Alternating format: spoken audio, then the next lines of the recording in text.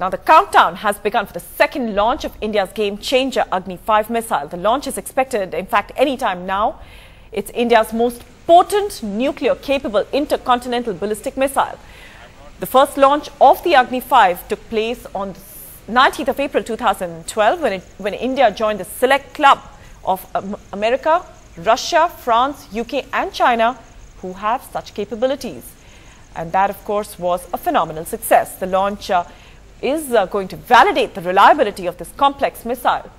And it is a complex missile. Let's take a look at its statistics. It weighs about 50 tons. It's 17 and a half uh, meter high and it's got uh, the state-of-the-art facilities powered by three engines. The missile can carry a single nuclear warhead or, of over 1,000 kgs and it can strike with precision all targets all the way up to China, deep inside China in fact, and also all the way up to Europe a fire and forget system that can even destroy enemy satellites and push comes to shove can even be configured to launch small satellites.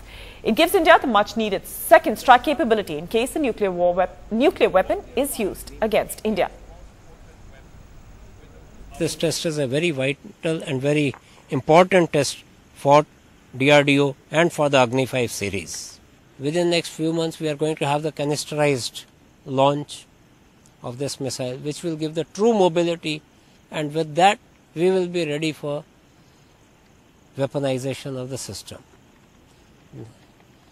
That is where the A5 will be a new weapon system inducted into the arm, Indian Army.